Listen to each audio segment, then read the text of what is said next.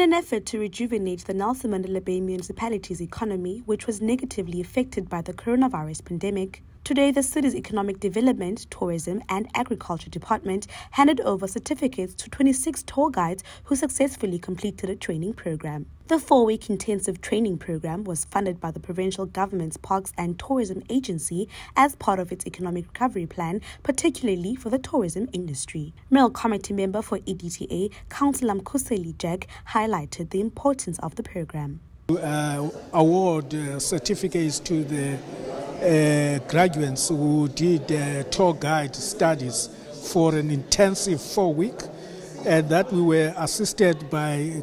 Uh, uh, by the Department of Economics uh, in the Eastern Cape, and we are very grateful to that because this is putting these people on a path of somewhere in the economic chain, and more than that, also equipping them to be able to talk accurately and properly about our city when it comes to our history, our politics, our way of life, our culture, our everything, uh, arts and and our whole traditional ways.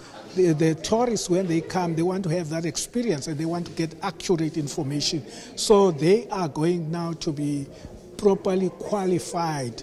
And it is good news. It shows that people are really, really ready to work and people are ready to get things done.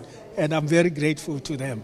One of the tour guides who took part in the program had this to say. I feel so happy and I feel so blessed to have had this opportunity, and I can't wait to hit the ground running when all the tourists start coming back to our beautiful country. I have a serious passion for tourism and for this special place that we call home here, Gqeberha in Eastern Cape.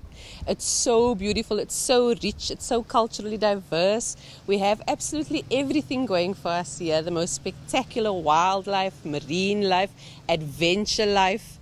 It's got everything in the Eastern Cape, and I'm so passionate to show it off to the rest of the world.